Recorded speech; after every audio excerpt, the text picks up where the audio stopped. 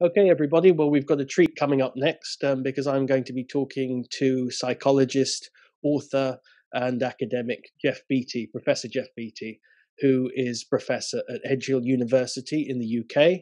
And he's had an incredibly uh, long and distinguished career in the fields of uh, psychology uh, as an academic, but he's also had parallel careers as an author, as a writer, as a journalist. And he's um, known for a number of different things, and you might know him for his work on TV, where he's a sort of uh, popular psychologist, or at least he he um, explains to us some of what's going on, in, and in particular in non-verbal communication, which um, is uh, quite interesting, particularly if somebody sticks their finger up at you, or um, or winks, or or, or or, or does something else. So we'll be talking a bit about that. But um, uh, Geoff, can you hear and see me? I can hear and see you fine. Very good, yeah. and, we, and we can hear and see you with it. Thank you very much for for joining us um, today, and you're joining us because um, I've asked you uh, if you if you'd kindly give up some time to talk about your new book, which is Selfless, um, and um, so this is sort of an autobiography. And I'll say sort of an autobiography because it sort of weaves together parts of your life but also some of the some of your writings and some of your thoughts on psychology. And it's a bit of an intellectual journey as well because you sort of tell us how you've got from point a to point b. So so first of all um, why why did you write the book and what, what's this book about? Oh why did i write the book? Well like most books there's a kind of uh, you have a sensation inside which says something needs to come out here. And I think that's where the book started. Um, I wanted to write about my background and how I got into psychology. And I come from a particular social background, which is kind of lower working class. I was born in Belfast. Um, my father was a motor mechanic. My mum worked in the mill. Um, I went to the local school. And at that local school, nobody ever passed the 11 plus. so I was the first in the generation to pass it, which obviously opened up a world of opportunity. Um, and just to describe, uh, to, sorry, just just just to pick you up on that. So the eleven plus is it's an exam that you take at eleven, and, and, and what what's that for? Okay, it's an exam you take at eleven, which is uh, meant to be a kind of measure of, of intelligence and ability at, at, that age. Which and the idea behind that is that it, it, it directs you to, to the kind of secondary education you get. If right. you pass, you get a choice of, of, of very good academic schools, independent schools and grammar schools. If you fail, you go to a secondary modern school. So it kind of determines your life course, really. So, so, so in terms it's, of social class, then that is sort of your passport or your potential passport to sort of out of your social class. Exactly, exactly. Um, and it's it, it is a big deal because I think as an eleven year old, you kind of understand how important it is. And obviously, a lot of schools, a lot of good primary schools would prepare their their children for this test. But the school I went to, was, there was no preparation because the assumption was everyone would fail. Uh, the assumption was everyone would fail, but but at, this, at my primary school, I was a little bit different because I, I skipped a lot of the classes because I was seemed to be quite good at, at certain uh, academic things. So uh, for my last few years of primary school, I used to mark the spellings and the arithmetic of the other kids. I used to sit in a little desk on my own in the middle. So oh, wow. I was even then seen as a little bit different. And of course, that, that came with its own challenges because my friends, I was marking their spellings and arithmetic. and, and, I tell the story in the uh, in in the book about some boys dropped some barley. They used to shoot barley through a pea shooter, and the teacher lined up everyone to be caned. And of course, I didn't want to be left out because that would be seen to be right. different from. So I lined up, even though I didn't bring barley. Right, right, right. Got. So so it, there was that kind of interesting juxtaposition even before eleven, but at 11, I, I kind of did the 11 plus and I, and I, passed. And then at that point, I had to then go to, to, to be interviewed by, by this school. I, my parents just showed me a list of schools. And I picked the poshest sounding school on the list because it had the word Royal in it. Belfast Royal Academy, which is the oldest school in the city. So I, right. I was invited to, to, to, go and be interviewed. And the interview went reasonably well. Uh, the headmaster came in with a gown on. I'd obviously never seen anyone with a gown on before. Started asking me a lot of questions about myself. And then uh, I described in the book, he asked me the last novel I'd read. And the problem was I'd never read I'd never read a novel. We didn't have novels in the house. We we had we had lots of books. Uh, um, and when I was a child, I had a bit of a fixation with encyclopedias. I used to like remembering facts. I used to get my dad to ask me facts from encyclopedias, but he asked me about the last novel I read. And uh, I, I, I, hadn't, I say I hadn't read one, but I had been to, to a kind of memorial hall to watch the film Gulliver's Travels. Oh, okay. I had an encyclopedia of famous authors, so I knew that Jonathan Swift wrote this book. And, and so I described the film, but I, I didn't watch, I couldn't describe all of them because we'd been thrown out. We were a little, you know, gang of kids who liked messing about. We were all, every time we went to the cinema, we were thrown out. we were thrown out halfway through, throwing marbles. We used to throw marbles from the, uh, from the top deck. Uh, which is very funny. If you've never done it, I shouldn't describe a ballad act as being funny, but you don't do it anymore. But yes, I, I, I, well, you say that, okay? I have been tempted. I have been tempted. We'll cut that bit out. Yes. So we were, you know, when, when the lights go on, it's very dark. Suddenly you hear these noises coming from the auditorium. Anyway, we were all kicked out. I got a bit of a whack as well, and um, so I described the, the book up to the point where we were kicked out of the cinema and um, he obviously thought I'd got a very good visual imagination. Right. it was very cinematic by description. So uh, I got into the school. So so I had to get I got into the school, which was quite a distance from, from where I lived really. So all my friends went one way, and then at eleven I was going somewhere else to this new school, which which obviously was quite intimidating. Yes. And so and so you, so you, you get into the school, and yeah. your, your studies go your studies go pretty well.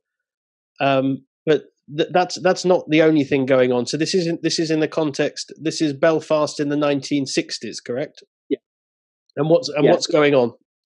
Well, what, what's going on? It, it's the kind of build up to, to, to the trouble. So it's, it's, a quite.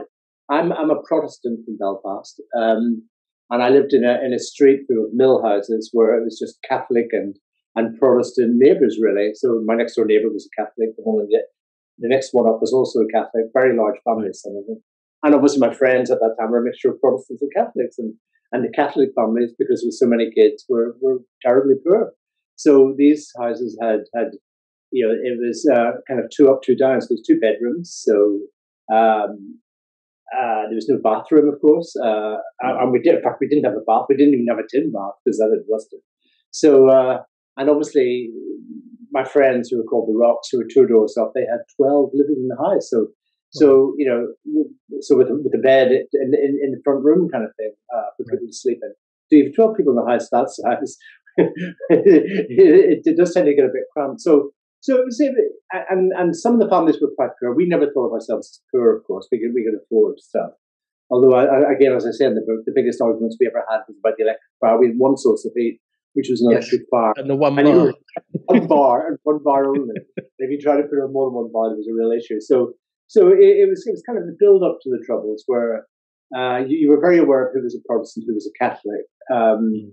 but things hadn't really started then. They started, of course, in 1969. Right. Um, and, and, and my street and the people who were part of my gang, uh, of course, you know, working class Protestants, working class Catholics were exactly the kind of people. So within a few years, people would become kind of enemies and, and so on. And, and, and I was, of course, I was still at school when the, when the troubles started. So so part of my uh, education at, at, the academy was kind of, you know, learning about stuff, but at the same time, this this was going on all around. Um, my, my dad died very unfortunately when I was 13. So it left my brother and my mother and I in the house, and then my brother, who became a climber, so he was on his way climbing. So it left my mother and I. So two of us living in, in the house.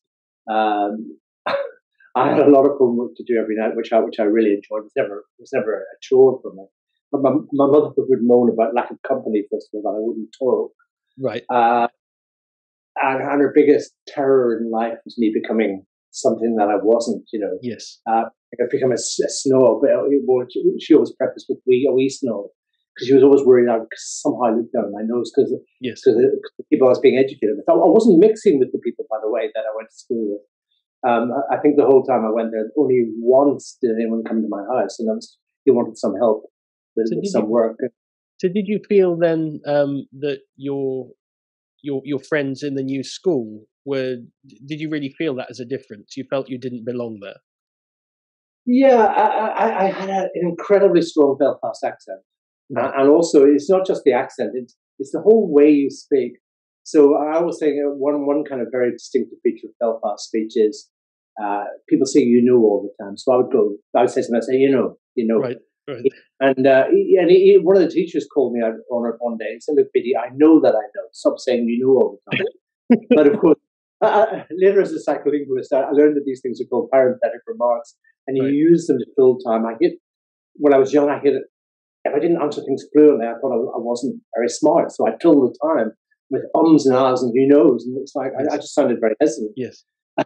and also uh, working class, especially working class Belfast speech, is very sing-song. We have right. a kind of rising intonation at the ends of our statements. So it always sounded as if I wasn't very sure of what I was saying. And I think the boys in my school thought, what have we here? Um, uh, I got called a pleb a few times. Didn't know what a pleb was, even though I was studying Latin. I thought plebeian, something to do with plebeian. I'll have to look that one up. so I, I, think they regarded me as being uh, a little bit different. Um, and it, I tried to keep the two worlds apart. The school I went to, we had a school cap we had to wear with a royal crest on the cover, a school blaze with a royal crest.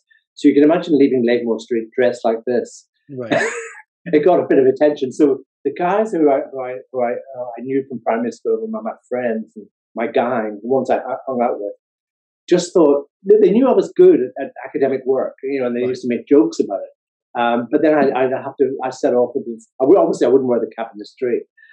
I put the cap on you know, about two yards from the school, even though there was a school rule preventing you from doing right, that. Right, right, But it was keeping the, keeping these worlds apart. I knew I had to keep the worlds apart. Um, I knew I had to do a lot of work, and um, of course, in a tiny house, that brings its own challenges. So my mum would say to me, "Would you go down to the shop and get a pint of milk?" And I'd say, "No, I can't. I'm working." She said, "You're not working. You're just sitting there." Right. And I said, right. "Yeah, that's work." She said, "So sitting in your ass is just work these days, is it? It's just you're not doing anything." I said, "I'm thinking."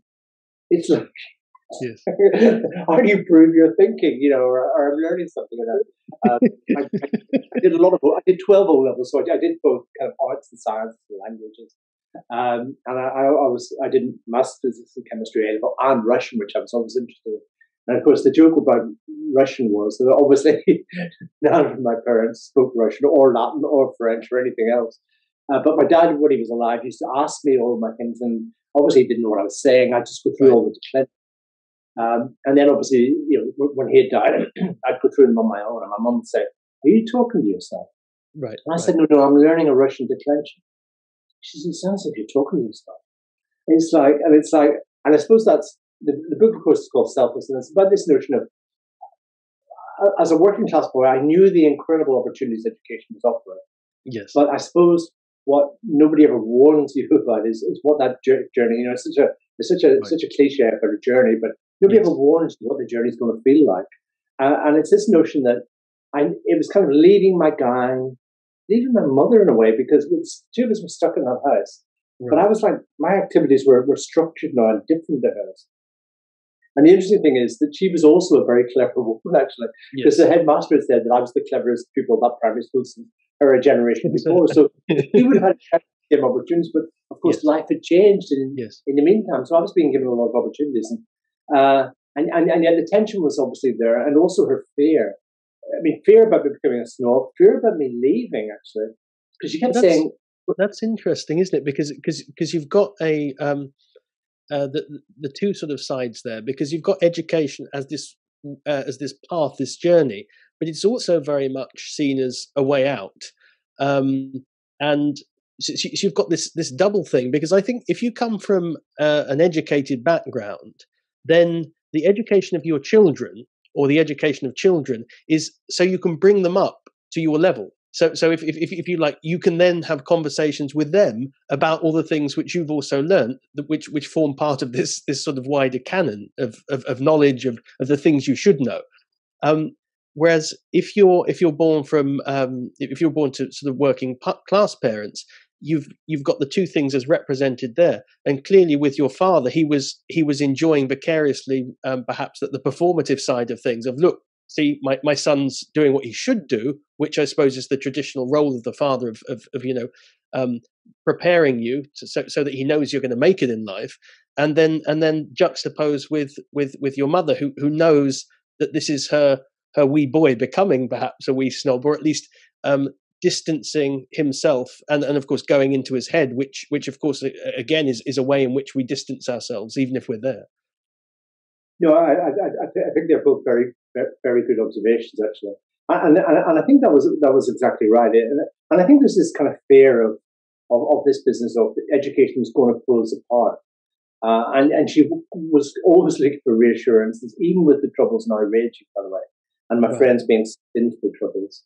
Um, that somehow I'd go off to university, and I kept reassuring her that I wouldn't. I'd go to Queen's in Belfast. Now, I, I'd kind of live at home, and, and obviously when I was preparing for A levels, I, would go up to the library at Queen's, and of course you couldn't get home because there'd be roadblocks and, and right. bombs going off. Right. It was a nightmare just getting back to this bit of North Belfast, which was which was particularly badly affected. So uh, I, I, suppose I could kind of understand her uh, her anxieties about about the whole thing, and and and obviously there was no one to talk to about any of the stuff that any of the knowledge I was acquiring. If I tried to talk to her, she would have seen that as getting a kind of kind of above myself really. Uh, and and yet I wasn't talking to my school friends about it either because after my dad died, this is a, a weird thing. I, I, took up running, and I used to run every lunchtime right. at school. Every, I mean, every lunchtime. Um, and I still run every day, by the way. And now I run for Ireland, uh, which is good. So it's kept me fit. Um, uh, but um, so I didn't really mix with them and chat to my school friends. I just I just did the, the academic work. So all the dialogue was going on in my head. Um, and that's why exams were important because it was my only way of showing that actually there was something in there that made sense. I wasn't discussing with anyone. and because of my accent, I was a little bit nervous about talking in class. Right. The only thing I ever did in class was make jokes yes. uh, to get people to laugh and get the teachers, to be honest, a bit uh, upset by me. Which so you, did, so yeah. you didn't quite know how to how to sort of use that side of you, which which was becoming in your head, which, which would perhaps like to engage with these ideas. Um, and, and present them, but it's it's it's sometimes difficult. It's uh, and I, I, I find this with um, because uh, I, I also come from a, a working class background, and, and, and, when I was younger, if I'd read something, uh, and I wanted to sort of say, "Oh, this is like something I've read," I, I couldn't. You, you, could refer to a film, you know. You could say this is like Rocky when this is this, but, but you couldn't yes, refer to a book because what one no. was would be well, what, what, are you talking about? You didn't have the same the same sort of um, reference, um, if you like.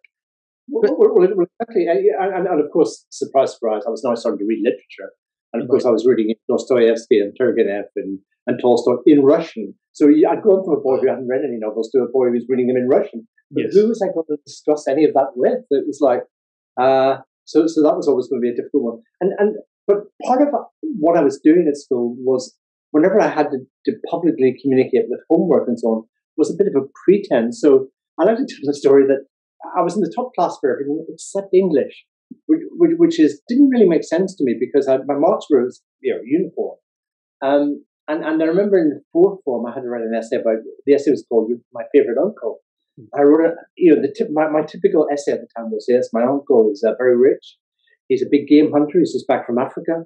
I remember once writing all this stuff, and uh, I, I, got halfway through, and I just suddenly thought, "What are you doing? Right? Why are you pretending? This is just right. rubbish." Right. Right. So I tore it up. My mum came in. I remember that I've got a flashbulb memory. Of my mum came in the room, I'm ripping all this paper up, and she's saying, "Oh my God, you've lost a head! You've lost a head! But you know, we have to pay for all these books." You know, it's like, right. This is rubbish. And I wrote a, a story about my uncle who, who wasn't a big game hunter. Who, who went to the pub with my dad every Saturday night, and right. I wrote a story about about their lives. When he came home, the dog used to attack him, and the our, our dog only attacked him when he was drunk. He was like, so I wrote a story about my life, and uh, right. and then I wrote another story about me and this crazy dog half Alsatian, half collie that lived down the street. I looked after him. It's about me and this dog were always getting into trouble. He used to follow me to school, actually. Right. uh, it wasn't my dog, but I used to look after it. And, and I wrote a real story about it. It, it attacked a sheep one day, um, which was a, a, nightmare in my young life because I thought if, if it gets caught, it's going to be terrible consequences. So, and, and, I wrote this, and the English teacher asked to see me, and he said, "Look, this is really interesting. It's really good." And I was moved from the set I was in to the top set within, uh, you know, that day. Uh, and, and, that was me becoming authentic for the first time, at least admitting right. to something. Right. Uh, at least just the teacher. I wouldn't have, I wouldn't have talked in detail to my school friends about it, but they kind of knew where I came from. Right. And because Belfast is only a small city, they knew if any of them ever saw me, they knew who I was with in a sense. Yes, I was with a, yes. a gang of lads who right you know, unfortunately became quite well known in the Troubles, but, but they were my friends. These, were my guys. So, so you're you're you're sort of um, uh, finding uh, at least that authenticity is is something into which you can plug, and of course that's a different it's a difficult thing for a kid because you're you're wondering what um, what do these adults expect? What do they want from me? Um, if, if you like, and because there's that aspect in, in, in, which you, you need to perform, you need to do well, and and and you obviously are. Um, but so you you're doing this. You're obviously academically brilliant, and you you're going towards um, university. But how how did you come to uh, be interested in psychology? What what was the the hook? Oh, well, growing up in Belfast, in some sense, it was an easy one. Uh, because so as I was doing my A levels, obviously the troubles were now on, and I suppose my interest in psychology was just watching what was watching what was happening. So suddenly our neighbours were becoming our enemies, and I never kind of understood that. To be honest, I thought, hang on a second, why is this? what what exactly is happening here?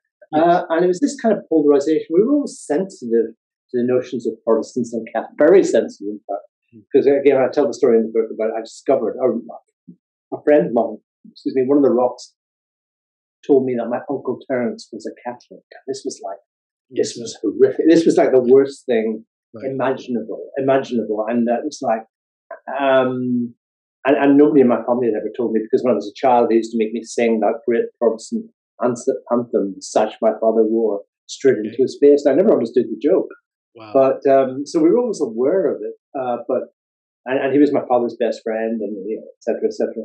Um, but incredibly wasn't allowed into his uh, sister-in-law's house for 40 years.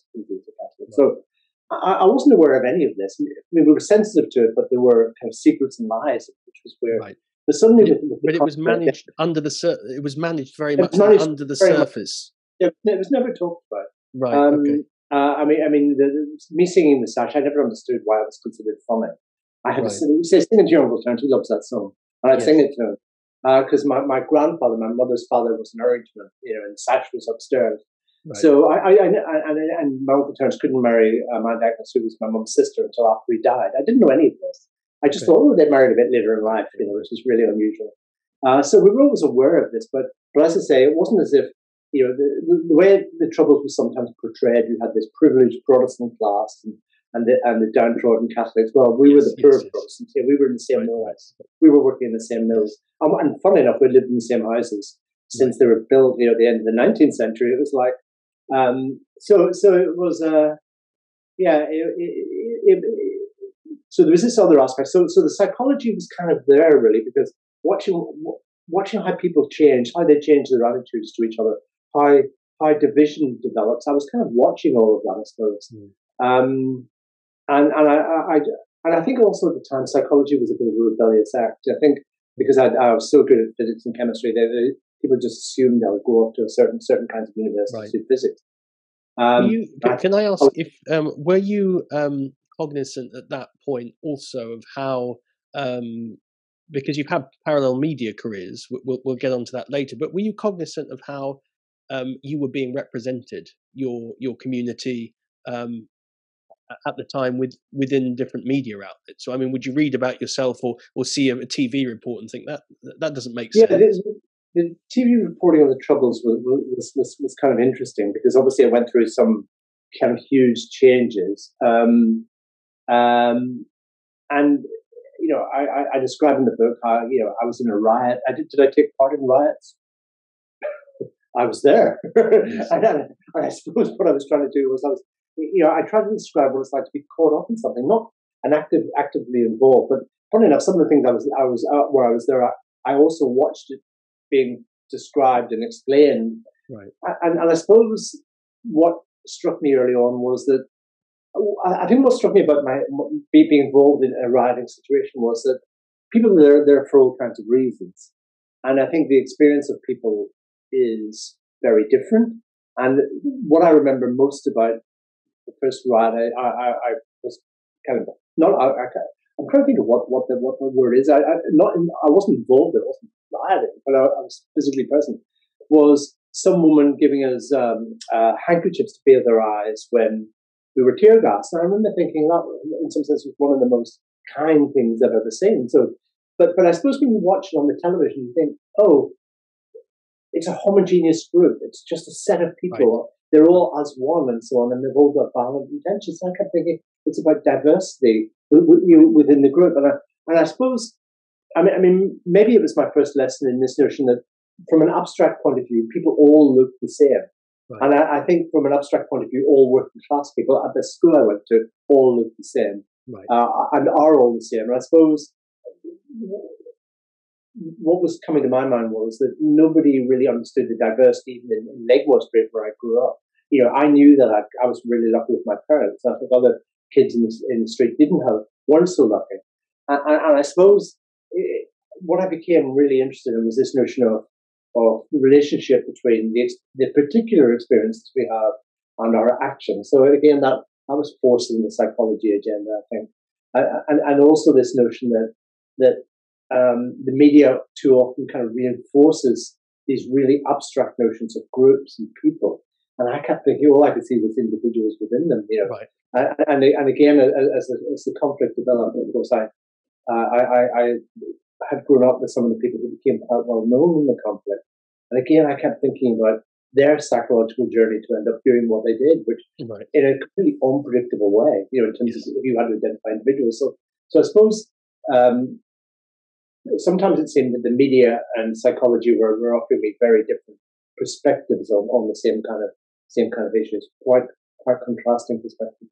Okay, so so then so, so then this this interest develops in psychology, and you you don't stay at um, in Belfast. You you go across the pond to um, to Cambridge. Um, oh no, I went to the University of Birmingham first. Oh, sorry, you you go to the University of Birmingham. Sorry about that. Um, and when when you go to England, had you had you spent much time in England before that? No, my, my aunt and uncle had had, had moved to, Bath, um, uh, um, which was a big shock to my mum and, and, and, and, to me. So I, I, had spent a few summers there, okay. uh, I, you know, 16, 17, 18, uh, working for a while. You know, and I used to work in building sites where they, so of course, they called me Paddy. Uh, Rome, religion, Rome. It was the same. I used to get a pay slip with Paddy written on it, which was great. Uh, um, so I, I, I've been a little bit to England. I, I didn't know Birmingham at all. I picked, I, I, I, got some recommendation from a psychologist recommended by the schools at the University of Birmingham's got a good psychology department. I'd never been. I thought, when I got there, oh my God, this is a big place. I'd never been before, but I, I loved it. I, I loved the university. I loved the psychology department. And, and it was so odd kind of leaving. And of course, and, and, and, that was an odd experience because I was now reading about the troubles on newspapers. Right. And interestingly, talking less about my background, even even less about my background. Um, so, so, so were you always going to be an academic? You think, or um, or were you, you know, well, were, you attracted by because you, you've never practiced, have you, as a clinical no, psychologist? I, I've, I've, I've, never practiced. I, I, mean, what was interesting was when I got to Birmingham, my, my, family had always made me believe that I did so well at school because I because I worked so hard. You know, I had this image that I was the hardest work. And then I got to university, and I thought, no, a second, everyone appears to be working harder than me, spending more time in the library.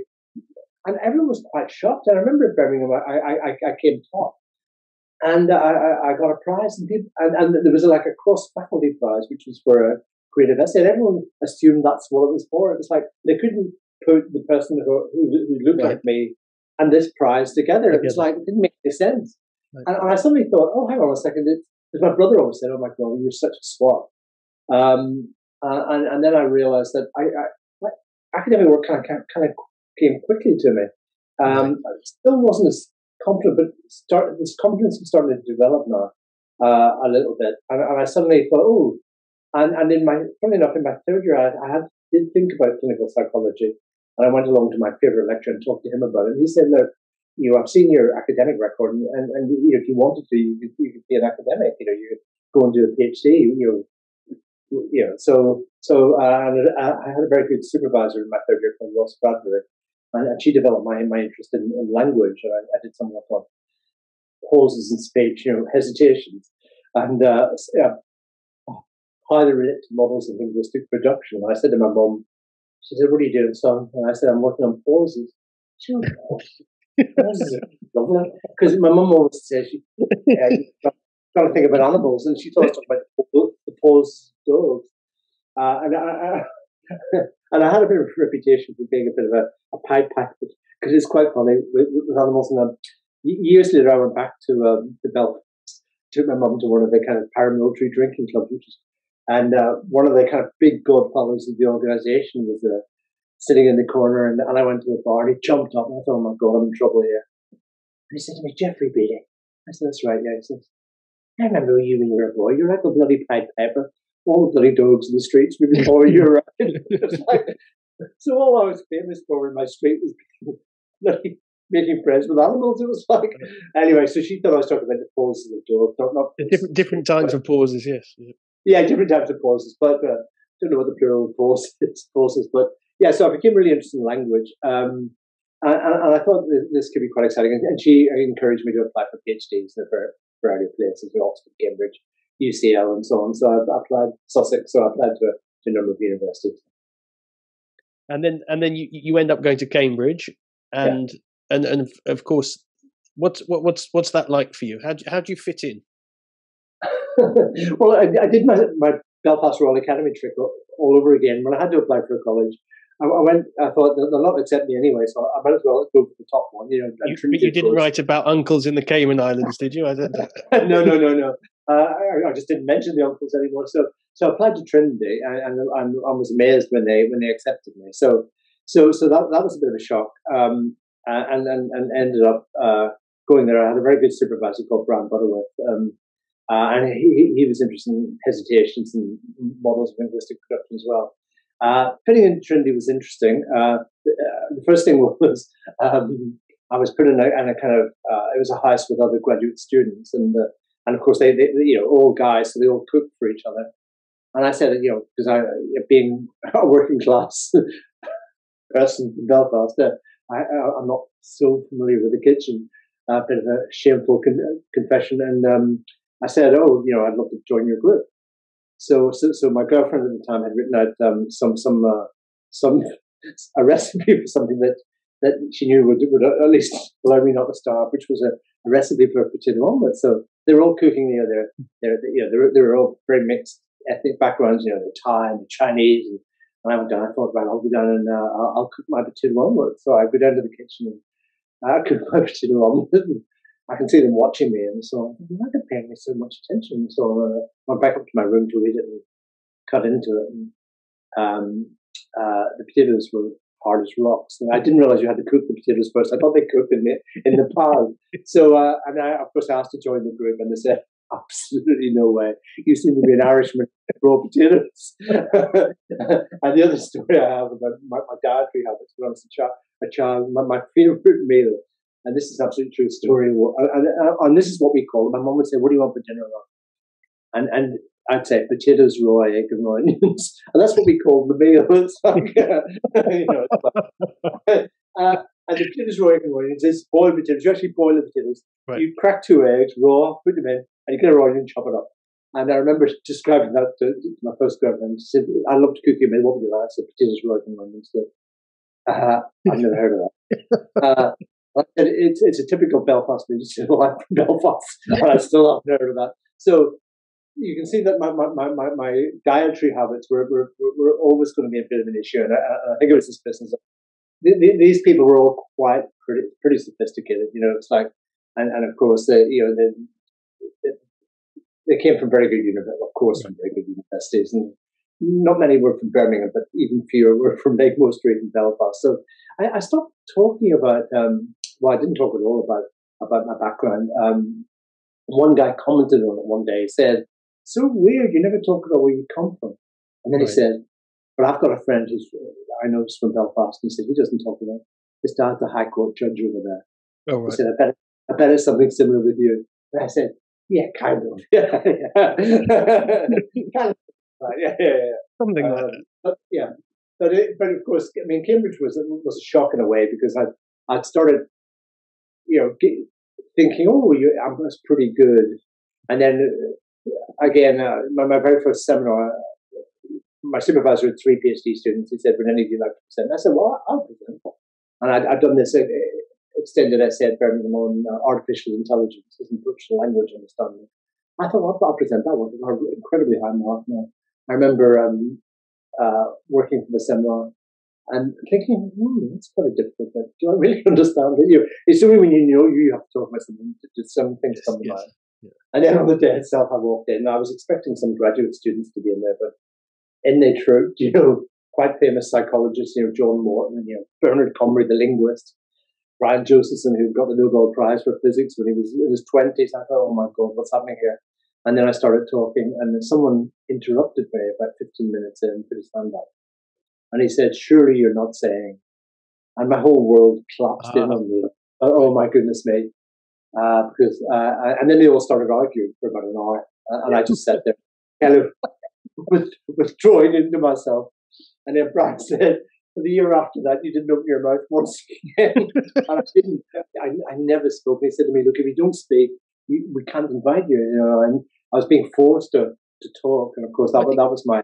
I think that's one of the um, uh, the things in uh, for as as this is this is for for an academic audience. It's going out to, a, to other academics from different things. The the the becoming an academic is a very sort of um, difficult thing psychologically to do because you're you're meant to go from literally one sort of one day to the next. So suddenly you're you're a member of this club, and um, you're up against people, of course, with all these um, bells and whistles and things, and, and and you're meant to have an opinion or you're meant to defend a thing. And what's what's very difficult, of course, is um, when you you're meant to actually have an opinion and be attacked, and but but there's a part of you which which exp- expects almost like here's my idea, and you just want people to look at it and, um, and go, "That's fantastic, wonderful," and then say nothing about it. Which, of course, if once, once you've been about a bit, would be the ultimate insult if, if somebody displayed. Oh, okay. Um, so, yeah. so making that jump from like not being a, a member of the whatever this, uh, I suppose, the academy, to being a member of the academy, and, and yours was pretty traumatizing, maybe. It, it, it was pretty traumatizing, and, and, and you, you, again, you, you made a couple of interesting points there because I think one aspect of this you have to learn to deal with emotionally, because you, in right. some sense, it, it, if you do academic work, you're used to getting a little bit of praise and encouragement after a while. But but but this business of attack is what academics do, and you have to learn to enjoy it. And and these days, I kind of love it. I love when people attack me. Right, right. You know, I, have learned to enjoy it, um, and I've also learned to ask my questions. People always say that I've got a very distinctive way of asking questions. And I'm, in seminars, I'm, I'm quite famous. I'm always the one with the hand up first, unfortunately. But I always do it the same way people say. You always say, that was really interesting.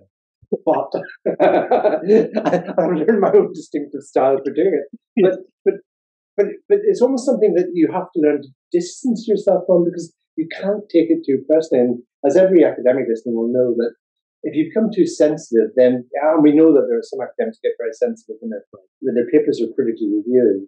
Um, and, and, you have to learn. I tell my PhD students, look, you have to you have to get used to it. And the way you get used to it is you have to you know prepare your work well, um, anticipate some of the issues, and and, and then respond. It's like of course it's, a complex set of yeah. interpersonal, academic, and emotional skills right. that you have no. to learn in becoming an academic. Yeah, no, it's it's it's a very difficult one because um, you know, of course, that's what's meant to happen and you know that's what makes you better and, and you know that's that's what needs to happen.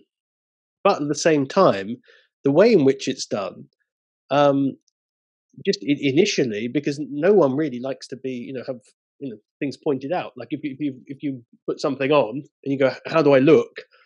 And you're, doing this to sort of a room and they go well well, I wouldn't be wearing that shirt. I wouldn't be doing that, and I'd change your haircut. And and and it, and it, it, it can feel like that because you've been um, you presented these ideas that, that you care deeply about and you feel and you believe, etc. So so it's um, it's certainly easier said than done. I mean, d- dealing with criticism, however constructive that criticism might be, is I, I think a, a lifelong struggle.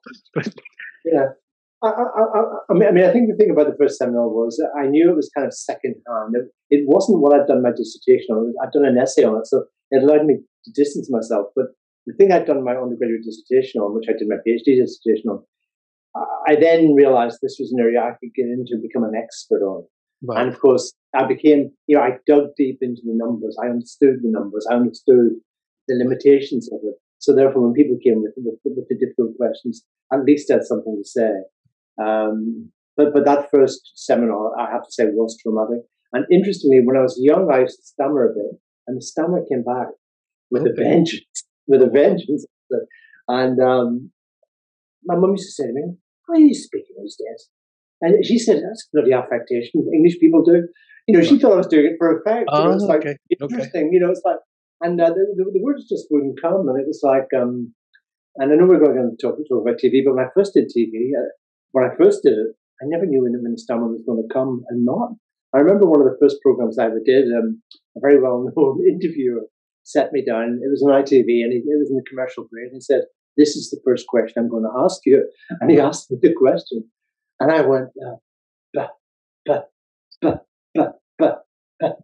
and the look of fear on this guy's face was absolutely unbelievable. He said, "Excuse me for a second. And I could hear what he was saying to the producer. He said, "You didn't tell me he's got stomach, this guy." Um, and anyway, he sat back down. Then he asked me the question for real. We went, we went live. And he asked me the question for real, and I was fluent as anything.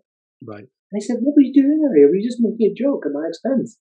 And I said, No, no, no, no. When things are live, I'm okay. But if people say to me, What are you going to say? Right. That makes me very self conscious. I, I know. Okay. Yeah. But, you know, so again, for, for years, it kind of it, come, it came and it went. And it, it, sometimes people say, Oh, it's still hear slight, slight traces of lucky fingers because I talk too quick.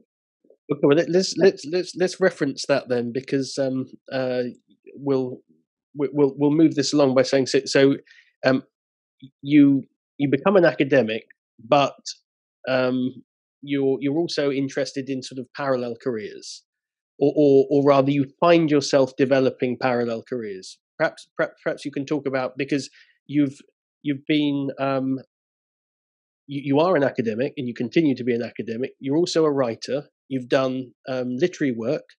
Uh, you've so so so you've uh, you're an author, and you've also been a journalist. You've been uh, a, sort of a TV psychologist, a, a, like a popular psychologist, and a popularizer of psychology. Um, so how how did this all come about? Yeah, well, well, it kind of all happened really when I left Cambridge. I, I love my time at Cambridge I kind of got used to it and so on. And, I, and uh, I published a lot of uh, papers for my PhD and so on. And so suddenly I'm in Sheffield. Uh, Carol, my first girlfriend, we got married by then. Uh, and, you know, my, my, brother's happy, you know, way climbing somewhere. And then suddenly things changed a little bit. My brother died in the Himalayas, so he had a fall. And then Carol slipped below a train at Sheffield Station, was wrong. And the first non-academic writing I did was about Carol's situation. It was called on becoming an artificial arm user. And it was just, again, it was kind of an observation of a human being, you know, an individual affected by a, a, a traumatic situation. That was the first thing I'd written, which wasn't, which wasn't academic. I say the first thing, first thing I ever did was when I was 13, I wrote a piece of the Hornet after my dad died about being a paper boy. But so, and it was weird. That that was the second thing I, I'd kind of done. So it, was an observation about about you know someone coping with with, with loss in that way. And and so I never planned to do it. It was kind of I was kind of driven to do it really. Um, and, and funny enough, uh, um, an academic journal we published the article at the time. It was published in New Society and the Journal of Biomedical Engineering uh, reproduced it. Uh, and, and I suppose there was this notion that I'm doing all this academic stuff, but how does it impact on the world? And I was living in Sheffield, of course, at the time, and and that was the time of Thatcher and and and and, and the mills, steel mills closing, the coal mines closing, and there's a huge amount of unemployment. And it just so happened that where we lived in Sheffield was that kind of area, and it was like leaving Legmore Street, you know, a working class area. I was in another working class area now in the north, uh, at, at a time of enormous political change, and and I remember being at the University of Sheffield, and they had some very good occupational psychologists who were talking about the psychological effects of unemployment. Kept thinking, but I'm not really getting out there and talking to these people. Just right. as I was kind of angry that, no, I don't know, remember, uh, perhaps angry is the right word, that psychologists were talking about the conflict in Belfast, you know, something I knew about, but again, they weren't getting out there into the street to find out what was going on. Right. They weren't really getting to these people to look at their lives, you know. Uh, and, and, and uh, you know, my neighbor next door, you know, uh, in, in Sheffield, like, you know, he would only go to the supermarket at certain times. He didn't, he didn't want the shame or embarrassment of bumping into his, his ex-colleagues. And they're all unemployed. They all avoided each other. So this is so this is where you're you're, you're becoming aware that academia or pure academia is falling short, or what you're seeing written, you're, you're, you're going, well, hang on a sec, that, that doesn't make sense. And, and, and you, you, you need the sort of the socio, sociological, uh, social psychological aspects to, to sort of be, be brought to bear. Is that, is that? Yeah. I mean, it, it, to, to, to, to me, this kind of psychological impact of unemployment and so on, you had to know a little bit about people's lives, how they were contextualized, you know, what was driving them, what it felt like, uh, how all the factors uh, went together. And as I say, it, it was an interesting parallel with, with, the Belfast situation because by that stage, of course, you know, the, there had been a lot of killing in, in Northern Ireland. Some of the people I've grown up with have been involved in it, and a number of them had been murdered as well, of course, in the conflict. So, and, and I was going back to see my mom, and we were talking about, you know, I was still seeing the people, and it's like, um, and of course, I, the book's called Selfless because by this stage, my mum's now saying, "You don't belong here anymore. Be careful what you're saying to people. Right. You, you, are a changed boy. You know, right. these were your friends, but you know, uh, and, and uh, you know, I've become kind of alienated a little bit from what was going on. And, and, and she was saying, and of course, I was writing about now about the conflict as well. And she was saying, look, you're writing these pieces and are writing these articles, and then you're buggering off back to back to England. Right. I have to live here, you know, and so on. And um, uh, and, and, I was writing about that, but but I was also writing about about, about Sheffield and, and unemployment and, and the experience of it, and, and and and trying to understand how you can still be someone when everything you've got to be taken away from you. And I, I wrote some quite well-known pieces about people pretending to be millionaires. You know, when, when they, they, you know that one guy had a really old Rolls Royce he got for like next to nothing, and the only way he kept it going was to siphon petrol mm. to put into the car because he knew he, and if he picked up a girl, he'd have to ask her where, where, where she lived because he only had enough petrol to go to certain areas. And uh, it was like, and, and um, um, you know, I wanted to understand crime and so on. And, and of course, I, I, I, I, I went out with a burglar. And, um, um, and I thought, I want to understand it. You know, there's so much I don't understand. What's it like? You know, what's the fear level like? What's the anxiety like? What what do they do all day? So I hung out with burglar and Right. And I thought I got a job with him. And we ended up, uh, I took him to an area of Sheffield. I said, which house would you pick? And he said, I picked this house. Uh, and I said, how would you get in? And he said, I get it. This is how I get He said, well, you're not coming with me. I said, I'll come with you, yeah. And, and uh, you know, I, I wanted to record the whole the experience of working with him. Uh, and he, he, said, oh, we'll take I said, we're not taking anything. You know. Right. Anyway, of course, it was my house. You know, I knew he'd pick my house at that time because it was an obvious one. Carol was furious with young kids by then as well. Like some yeah. burger hit bloody house. And we went and hauled it Tuesday that the house had been burgled. So, but the other hand, I, I wanted to get close enough to the people, just as I've been, I kind of knew the people in Belfast. I wanted to know the people in Sheffield right. to see what their lives were like. So, so it kind of took me into this kind of odd kind of writing uh, journey. And I started writing for The Guardian. The Guardian, um, I used to write for a page that called Grassroots. They let me write two and a half, three thousand words about these little observations, these vignettes of, of life. And I do it very regularly, sometimes once a fortnight, um, uh, in which I just meet people and hang out with them. Uh, and I did a, a, book called Survivors of Steel City, published by Chatto and Windus, which was kind of looking at, at a city in, you know, affected by unemployment, but this kind of close observational writing. But but I didn't know what it was I was doing, if you see what I mean, because right. I'm still an academic psychologist. I'm still loving psychology, but I'm thinking it doesn't really shine a light on, on people's lives. And, and then people would say to me, have you left psychology there? Uh, are you not a psychologist anymore? Uh, and obviously, I, out on the street, I wasn't Dr. Geoffrey Beattie. I was just Geoffrey Beattie. And, and I had the ignominy of someone asking, did I know the other Geoffrey Beattie? it was like somebody said to me, like, do you know the guy Geoffrey Beattie writes for The Guardian? You've yeah, I've heard nasty things about him. don't trust him. Don't trust him. Uh, you never know what he gets up to, but it's like, so it, it was really kind of almost like a splitting of personality. It was right, like, right. again, two sets of individuals, the academics I was dealing with on a daily basis, and then these other guys. And I, I, I took up boxing. I wanted to understand the lives of boxers. And, right, again, you, oh, well, we'll just go to the gym and write about it, for goodness sake. But of course, the way I did it was I got, I, I knew some bouncers very well, and they were all ex boxers, and some of them had been pretty good. Um, and and I said, yeah, I got chatting to them. You know, I still did a lot of sport, um, did a bit of running, and um, they said, you know, I said, oh, what's it like being a boxer? Well, come down to the gym with us, Jeff. Or uh, we'll show you what it's like. I said, fair enough. Yeah, okay. Well, I thought we'd go down do a few bench presses, go for a run, it will be good. And they said, have you ever done any bag work? And I said, no. Mum Terrace had been a boxer, by the way, so he, he showed me a little bit when I was a child. But they said, okay, here's a bit of bag work. So you've got a great right hand, Jeff. Great right hand. and they said, have you ever done any sparring? I said, no, I'm not doing Get in the ring. We'll, we'll, we'll, give you a go. And of course, I got in the ring, got battered. And I had, a, I had a squash match that night. I took my shirt off. And somebody said, oh, Jesus, have you been in a car accident? it was like, yeah, my back was my back it was so bruised. It's like, what are you doing? You're running for people. Right. You're on the ropes. You're in the back. uh, but of course, I mean, and that was my way of getting their respect. And and, right. and Brendan Brendan Ingle's gym in Wincobank, famous. Oh wow! Yes, yes, yeah. Naseem Hamed, Herol Graham, Johnny Nelson, and so on. Brendan used to say, "For God's sake, don't let them use you." I became good friends with Brendan. Don't let them use you as a punch bag. But um, but I've got their respect, so Right. Uh, I would go to weigh-ins with people. I would, you know, I would spend a day with them. You know, so I, I ended up doing two books about the lives of boxers. One called On the Ropes, and one called The Shadows of Boxing. But I was close enough to observe the action. And if you watch some of the Naseem Hamed fights, you see this guy sitting in the. I used to sit ringside. You know. Uh, okay. Okay. You, you'll see me. You'll see me there. Fantastic. Okay, so so so so in in essence, then, while while just to go back to what you just said about people going, well, is it, the two different two different Beatties. One's a one's a sort of like sort of popular journalist, and the other person's an academic. But you you in actual fact saw these as very much um, comp- one complementing the other. In actual fact, being perhaps essential one to the other. Well, it was a little bit uncomfortable, I have to say, because I couldn't think of how to reconcile them.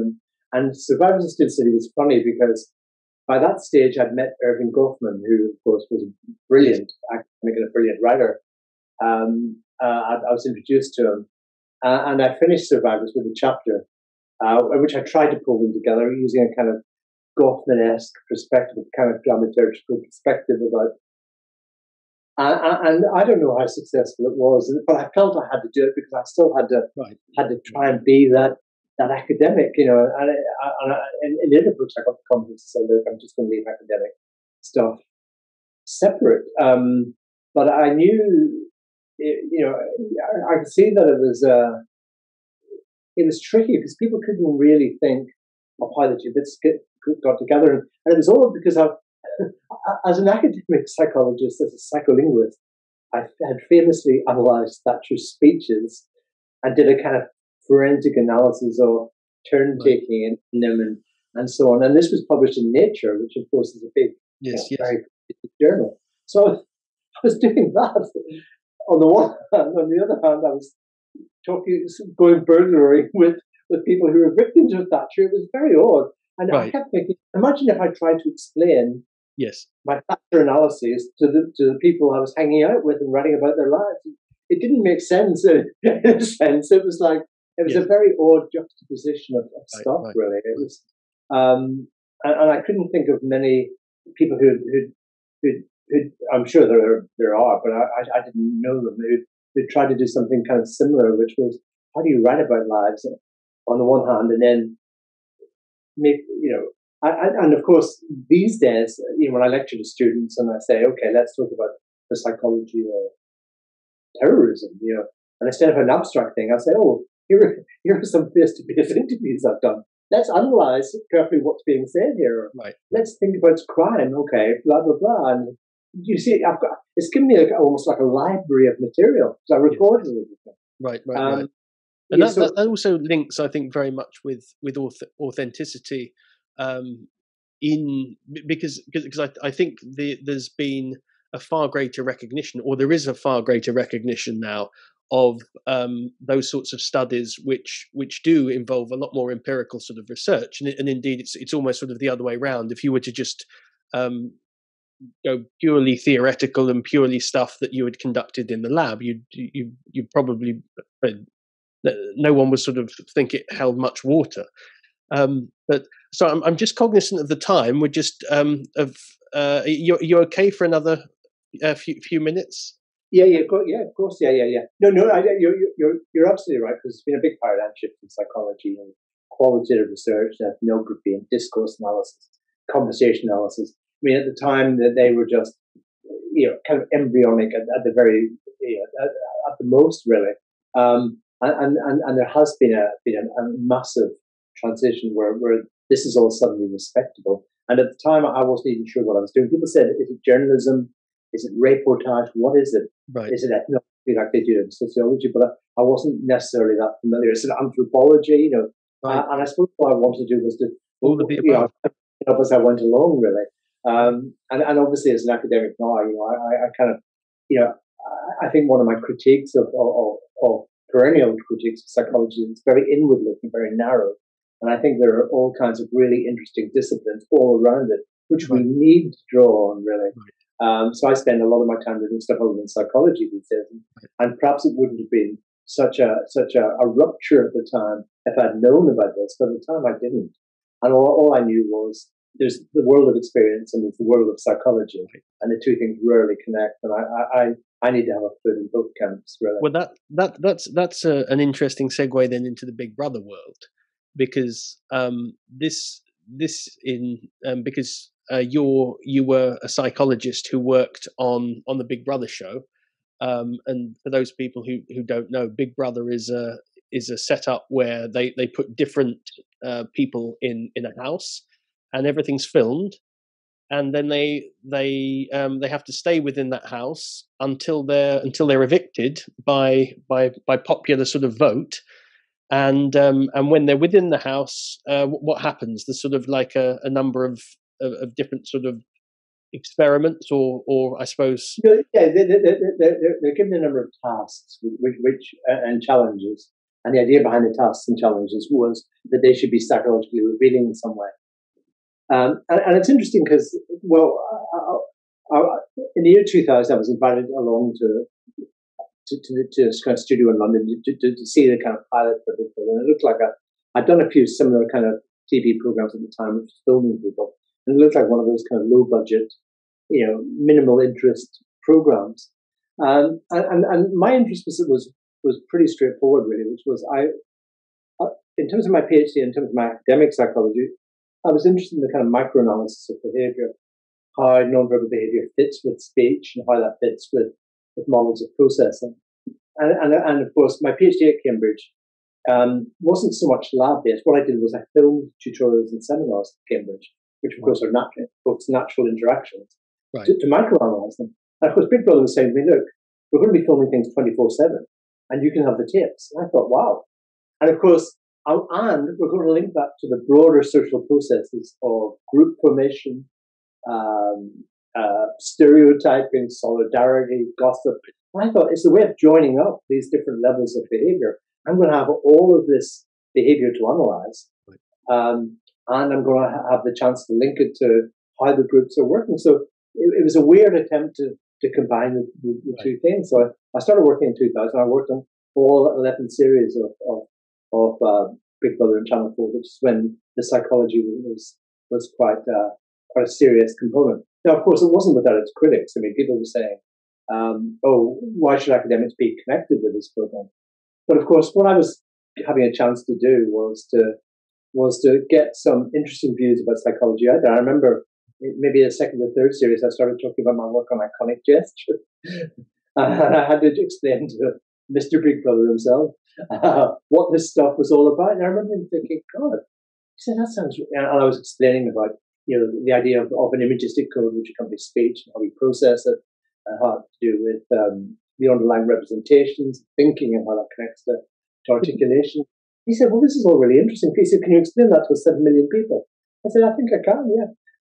and uh, every week I'd be analysing the gestural movements and this ended up in an academic book called Visible Thought, which was published by Routledge, which has got quite a lot of citations, uh, and which the examples are from Big Brother, because right. it was like an amazing opportunity to, to kind did, of study behavior in that way. It, it's an amazing opportunity, but did, did you not have any reservations about um, uh, about Big Brother as, as, sort of a concept and as in, in terms of what you were doing? because I'm I'm I'm just thinking obviously like we we know what the idea of Big Brother is, you know, in the Orwellian sense, um, we also know, you know, there's these different ministries and there's these people sort of controlling or or sort of and, and, and there was certainly that aspect because obviously there was producers wanted to see fights or meltdowns or or, or various things. Uh, but also the the key um, the key driver was was a sort of um, quite li- literally sort of an ostracism through an eviction. Um, so did did you have any sort of reservations? Because I mean, your your your whole is, and we've we've covered these points within um, within the uh, the conversation today. Were, were, there are some uncomfortable parallels? Well I mean, it's interesting because in retrospect, I can see all kinds of issues that have arisen from Big Brother, and and, and they're big issues, by the way, not necessarily at the level of the individual. At the time, the way I thought about it, the way I justified it to myself, was thinking that I'm spending at the time, just before Big Brother, those four years with boxers, working class people who need a way out or right. the gutter. You know, right. I say gutter uh, because famously a teacher at my school said, "Be from the gutter, and you're going to end up there." So I thought, okay, other people like me, I, I have education as a way out. Boxers have got a way out, and there's all people, as you know, who like planet. But I keep thinking, you can, and I kept thinking, for these people, what's their way out? And, and what they're going to do is they're going to do a program which, which is a few weeks, incredible psychological aftercare. Um, they can leave at any time, um, but it gives them a shot at something. And, and, in my naive way at the time, that's what I thought. It gives them a shot at something. Uh, they were pre-warned about you know the kinds of things you know, about the you know the eviction show. Uh, for most people, the eviction was neither here nor there. You know, in fact, they couldn't wait to get out to to make a bit of money. To be honest, mm-hmm. um, and generally speaking, it, it, was fine. Now, in retrospect, I suppose what I didn't quite get would be, be the start of something enormous, you know, reality television. Right. Uh, and the growth of narcissism and the growth that everybody has to be in the picture. And I went to the gym last night, and almost everyone in the gym was filming themselves while they were doing right. their exercise. Right. And posing. And did I foresee that? I don't think I did, you know. I don't think I saw that extraordinary change over the last two decades, which is right. the only way any of us exist any longer is to be in front of the camera yes. and to get likes and so on. And it's this, this, you know, some people refer to it as a narcissism pandemic, but it, but it is extraordinary the way it's changed life. I just thought it was going to be a show that, that would give a few people, you know, a few moments of, of opportunity right. and then it would be gone. I didn't realize it was going to change the whole, the, the whole society and not necessarily, uh, for the better. Um, and, and, the way it worked on Big Brother was they had psychologists who analysed the action in the house, and then another set of psychologists quite separate who, who looked after the well-being. And I thought, and the people who I thought were doing the well-being stuff were very good. Right. So I, I, thought, you know, and uh, you know, certainly in those first sets of series, you know, there, there, were, there were some interesting moments, but uh, no more interesting than you might have a, in a house in Belfast on a Saturday night in terms of disturbances. You know, people got a bit angry. Uh, and then they calm down. It's like, uh, yeah, you know, I, I, some of them, some of them got, a, got a livelihood out of it. You know what I mean? So, yes, yes. Uh, so um, you know, absolutely. Okay, so so um, as as we as we draw um, this this to a close, then the the end of the book, and it's um, uh, and it, it is a wonderful book, very very very touching book, a very interesting book, um, beautifully written, and um, and, and, a real page turner. I, I read it in um, in a couple of days, and um, uh, there's there's lots of people who who in actual fact um, say, "Have you read my book?" And of course, the uh, most people the answer is no. But this this is a fantastic book, so uh, do do do please read it. And at the end of this, we'll we'll um, put up the information there. Um, the the final chapter is called Reckonings, and um, reconciliations. And I suppose um, the, uh, the, the question that we're sort of or, or, that we've been dealing with throughout this, I suppose, is, is do, you, do you feel that you've reconciled yourself with yourself? Do you feel reconciled with, um, do you feel the disparate or, or, different parts of who you are and what you are? Do you feel they, they are reconciled in, in the self or do you, or do you still struggle with that? Well, well, of course, as you said, the book's called Selfless. It's not that I, I, I, care so much about others. It's it's the concept. Do, do you end up with, with the concept of self? And um, um, I, I, suppose I feel more reconciled than I once did. I mean, I, I think for many years uh, there, there, there, was certainly a, a, kind of bit of a disjunction there.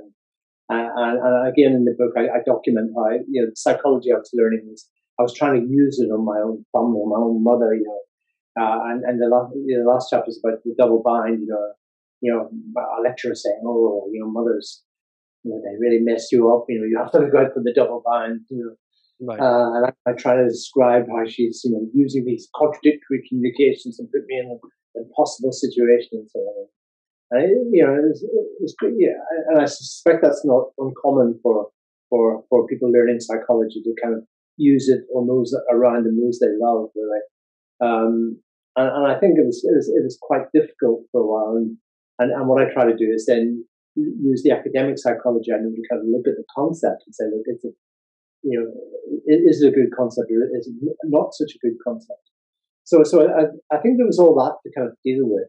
Um, uh, I suppose for many years I hadn't really talked about my background, and then after I became more established in academia, I became quite proud of my background. So I started taking my mother with me to, to things, which is quite funny. Uh, a great anecdote there. The wonderful shortlisted for, for a literary prize and which was won by Brian Keenan, the, the Beirut hostage for a brilliant book called Evil Cradling. And Brian Keenan, of course, had been held captive in a basement in Beirut for many years. And um, my mum didn't know, know who she was, who he, who he was, but, but they got on very well. Uh, and he talked in a very quiet voice because he'd been punished for talking loudly. She kept saying to him, Bran, speak up. I can't hear you. and then uh, so what's your book about, Bran? And uh, he told her.